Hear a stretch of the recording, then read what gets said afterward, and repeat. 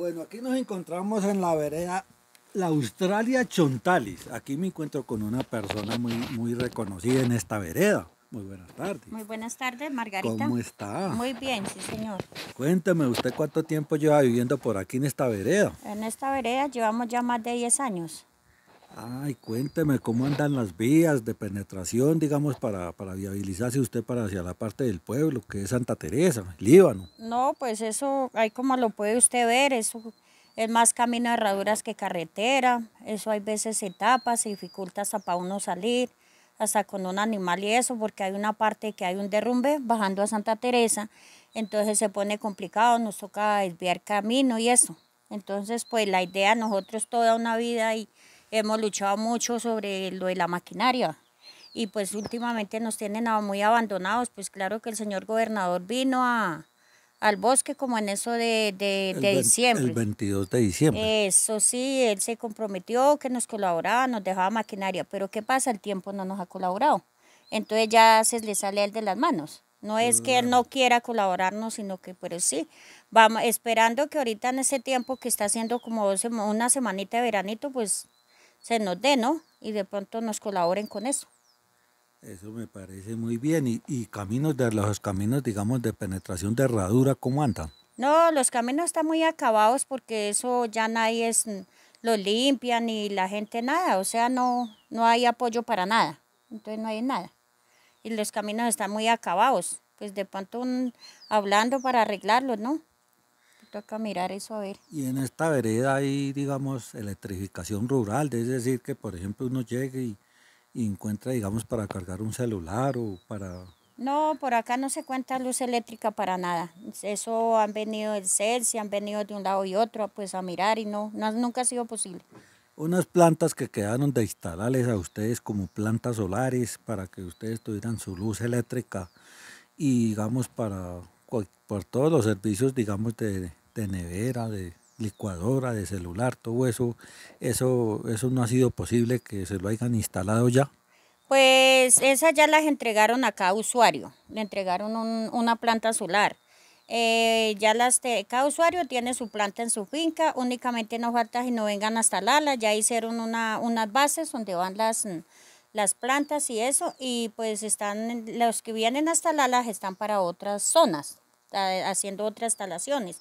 Entonces que apenas se ocupen para esos lados, vienen para estos lados hasta Lalas. Y cuénteme aquí, aquí hay escuela, digamos, para los niños estudiar. ¿Cuántos alumnos más o menos en esta vereda hay para estudiar? Pues aquí se cuenta con la escuelita, pero la escuela no la cerraron, eso ya va para más de, de, de 13 años. Por falta de niños, por mm, y todo es por, por, lo de las carreteras, por lo de la luz, porque pues una escuelita sin luz pues no, no es nada. Lo importante es la luz, porque ya para los, mm, para los computadores, para una cosa y otra, que para cargar un celular, la escuela no tiene vivienda para el profesor, entonces, pero la vivienda lo de menos. Eh, por acá todo lo más es las carreteras, que no contamos con carretera, hubiera carretera, y la gente por acá pues no, no se viene porque dicen, no, pero es que para yo irme al estudio para mi niño, imagine que yo tengo una niña y estoy pegada en la escuela y tengo que mandarla más de una hora de camino, arriesgándola por allá, ve aquí cómo está eso de rumbes por un lado y otro, eso es, eso es complicado. Y por aquí, digamos, ¿cuánto tiempo hace que no le meten mantenimiento a la vía? Pues eso hace que por ahí unos... Mm, tres meses nos mandaron un bulldozer, que fue mm. el que nos destapó el derrumbe bajando a Santa Teresa. Pero ¿qué pasó? El invierno. Entonces fue muy poco lo que pudieron hacer. Entonces eso es lo que el tiempo no nos ha colaborado. Entonces eso es lo que no nos sirve tampoco. Y aquí, digamos, a Santa Teresa, ¿cuántas horas hay más o menos en un caballo? Pues de aquí a Santa Teresa y a caballo, en una bestia que antes se echa uno, pongámosle hora 15, 20 minutos.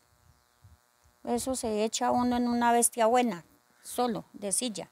Y por aquí, por ejemplo, digamos esto es vereda, ¿cierto? O esto es una localidad que no es vereda. No, esto es vereda, esto es la vereda Australia, Australia Chontales. Por aquí no les han dado, digamos, un kit de, de digamos, de primeros auxilios que viene dotado con una camilla, primeros auxilios es decir, para una persona si se llega a cortar con un machete, con una guaraña, eh, con una cuerda de alambre, o es decir, si se enferma una persona con gasas y todo eso, ¿no le han dado eso? No, no hemos recibido nada de eso por acá para este lado, no.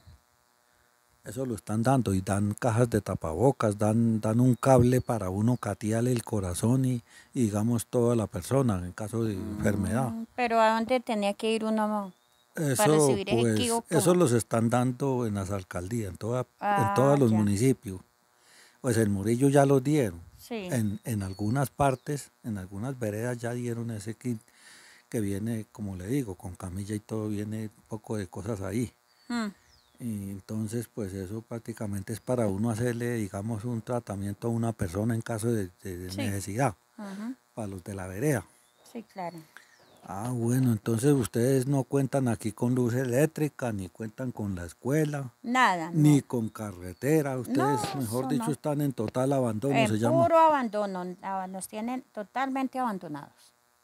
Y no entiendo por qué, porque esto en un tiempo fue una, una carretera muy, muy central, ¿no? Claro. Esto por acá en un tiempo bajaba mucho carro, eh, bajaba mucha comida del bosque, debido a estar el bosque también así, que se está acabando es debido a esto, a las, a las vías, porque es que la gente, usted pongámosle, usted va a sembrar algún cultivo, ¿por dónde lo va a sacar? Claro. Es que no, pues se dificulta porque hay veces que no entra ni una moto ni nada.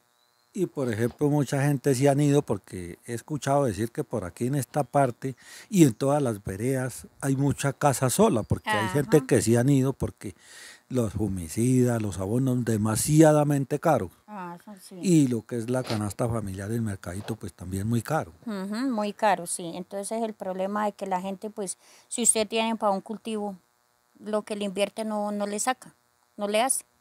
¿Y un trabajador más o menos cuánto cobra por, por venir a ayudar a, trabajar, si es que se consigue. Pues sí, es, eso para conseguirlo es un problema. Y si se consigue, pues con Guaraña están cobrando el día 120, dando ellos todo, poniendo todo.